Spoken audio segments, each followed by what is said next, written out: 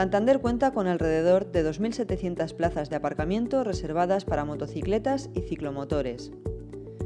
Estas zonas de estacionamiento se reparten por aquellas zonas de la ciudad en las que se constata un mayor uso de este tipo de vehículos, como el centro o las zonas próximas a centros administrativos, de estudio o trabajo, a los que se desplazan diariamente un número importante de ciudadanos.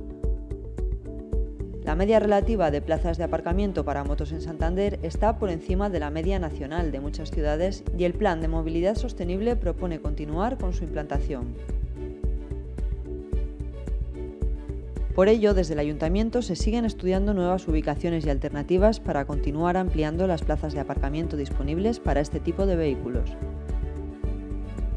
De hecho, recientemente se han habilitado 70 nuevas plazas de aparcamiento para motos en el centro, en concreto en la calle Juan Plaza García, situada entre el antiguo edificio del Banco de España y la Catedral.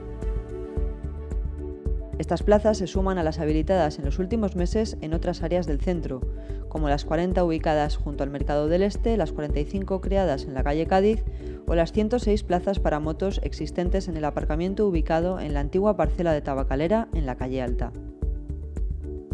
También se siguen creando nuevos estacionamientos para motos en otros puntos de la ciudad,